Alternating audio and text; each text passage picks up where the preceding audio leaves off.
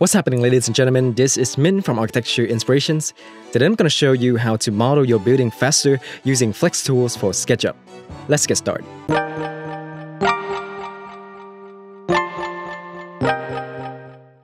Flex Tools is one of the premium SketchUp extension that I have been wanting to use for a while now. You can buy it by using this link here, but there's a giveaway at the end of the video, so make sure you watch until the end to participate. When you first installed it, this is the toolbar that you will see. The first part of the toolbar contains 5 different types of component that you can create. This includes the flex door, window, trapezoidal window, slats, panels, etc. And all of them are dynamic components. This means that you can scale the components while maintaining the proportions, which can help increase the modeling speed by a whole lot. Also, you can easily customize it to make it fit your design however you want.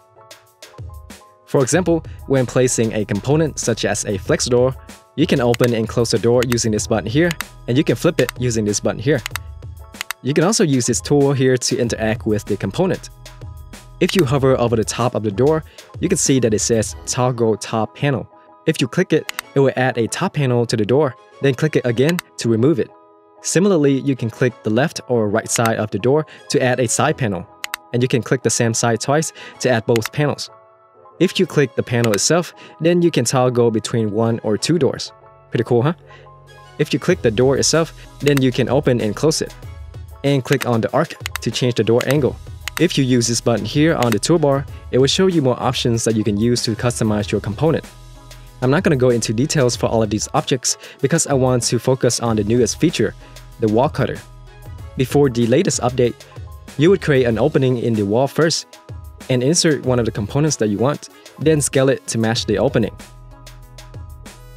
But with the latest update, Wall Cutter is now part of the extension, so you can simply place a component on the wall and it will automatically create that opening. Now you can move and scale it however you want, or even make copies of it, and it will automatically adjust those openings to fit that component. This makes the extension even more powerful than before. When placing a component on the wall, Remember that the wall has to be a group or a component and have the front faces pointing outward. Otherwise, placing the component would not make the opening automatically.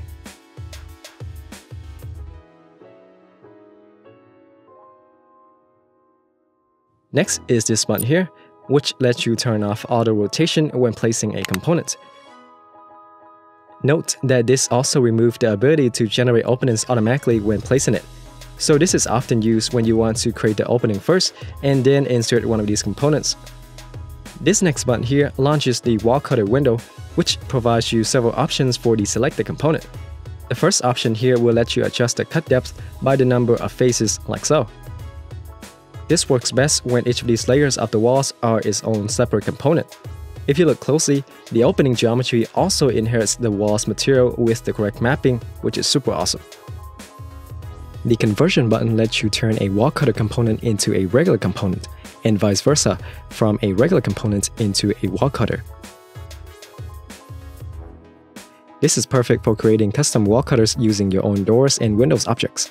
An important thing to note when doing this is to correctly set your axis.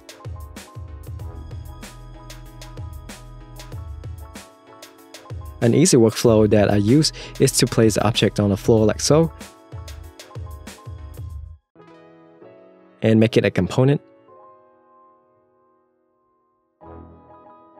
Then convert it to a wall cutter. Pretty cool, huh? You can also create a dynamic opening by first drawing a rectangle on the X and Y plane, make it a component, then convert it into a wall cutter. Now place it on the wall, and now go inside the component and hide this face. Now you can scale and move the edges however you like to adjust the opening. This also works with a circle too. This is simple, but can be very useful. Wall cutter is even more useful when you nest them inside components like this, and then make copies of them. This way, any changes you make on an assembly will affect all other instances of that assembly as well. And if you want to stop linking one component to the others, then you need to make it unique. But first, you need to remove the cuts using this button here, and then make the outer component unique, as well as the wall in the inside. Then click this button here to refresh the cuts. Now you can make changes to the unique component and it will not affect the others, or vice versa, changes to the other two will not affect this component. Finally, if you want to delete a window while saving the opening, then you can unlink it first and delete it after. Flex tools also include other useful tools such as Plane View, which helps optimize your model for 2D plans, and Component Finder, which helps manage your 3D models easily and efficiently. I covered this extension in a previous video, it's still free for those who want to get it. There's actually so many things that you can do with this extension, but I don't have time to cover everything today, so experiment with it and see what you can come up with. And that's how you can use Flex Tool to increase your modeling speed in SketchUp. As for the giveaway, the creator of Flex Tools is giving away 3 licenses for this extension. If you want to enter this giveaway, go to my Facebook page and look at the latest post for more details.